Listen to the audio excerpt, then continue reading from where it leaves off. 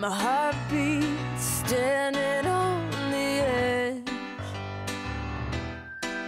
Hey, Taylor's Corner on 1, 2, 3, 4 the show, and I picked the new corner today. Yeah.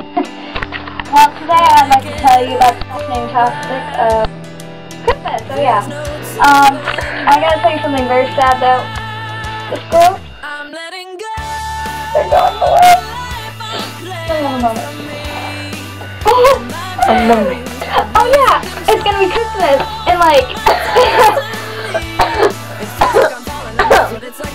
Sorry, I had cough.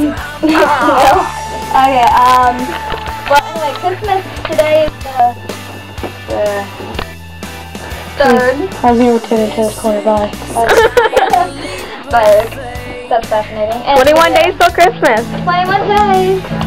Um, I'd like to give a shout out again to Savannah because I wasn't in the last episode and I missed you and I'm sorry. Can't wait to see you in Christmas. I love you and I miss you so much. Love you. And Logan. And Logan and Logan. I've been making that episode of it. Get it off. Oh, okay. Um, yeah. Anyway, I miss you guys. Love you. And um, that's about that's about it. Wait, here, Luke. Stop. We have to. Romantic call.